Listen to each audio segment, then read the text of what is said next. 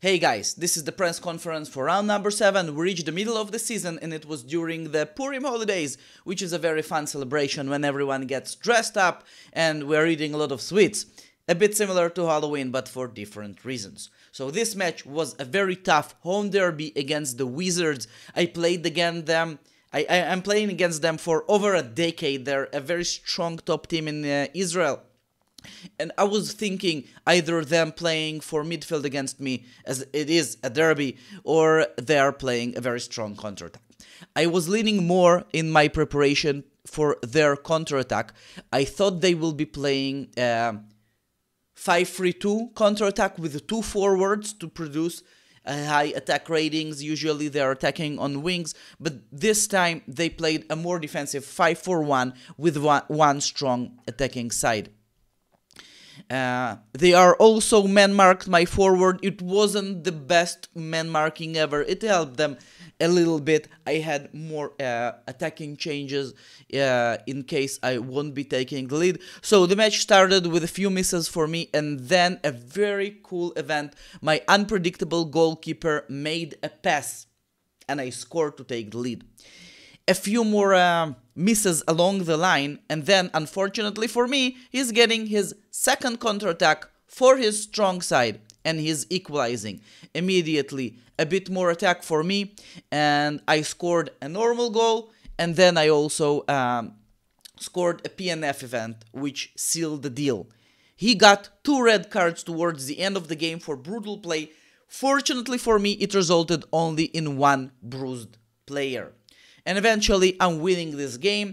Uh, a, a, a well-deserved victory. The replays are completely on my side with 88 victories in the replays, 6 draws and 6 losses. So we are back on track.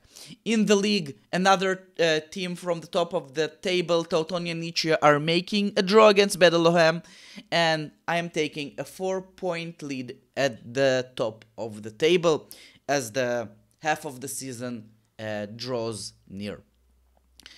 Uh, another interesting fact so I bought my unpredictable goalkeeper last week, and this week before this match, I pretty much completed my roster as I managed to buy my center defender. It was a tough bid war against Morelos and his second team, uh, Solmar, and he took me to the limit of my financial abilities as I took this player with my last possible financial build, uh, uh, bid, and uh, it was a fun story because he probably had more money and he just had to take a flight, so he couldn't physically uh, place another bid as he needed to turn off his phone. That's it. I have my starting 11. We'll still need to buy more uh, substitutions to round up the team, but um, I can go.